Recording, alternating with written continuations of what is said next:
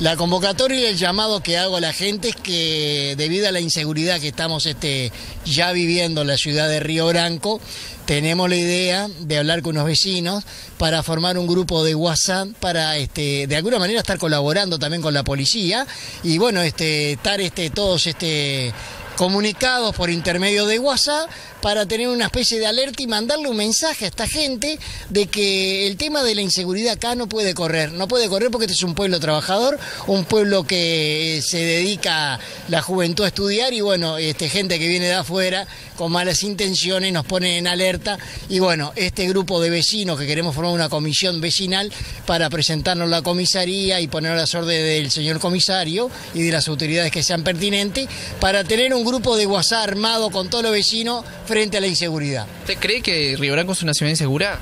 Eh, es insegura porque tenemos la frontera, es insegura porque la gente de Montevideo que tiene antecedentes vemos diariamente que va disparando hacia el interior porque se le va este, recortando el camino con las cámaras y esta gente está buscando nuevos caminos y bueno, ya hemos acá llegado a Río Branco con la inseguridad y un llamado que le hacemos a, a los vecinos es que se incorporen le voy a dar el número de celular 094-650-586 para tener en algún este, lugar que nos puedan habilitar una conversación con los vecinos y formar de esta manera un grupo WhatsApp para estar unidos.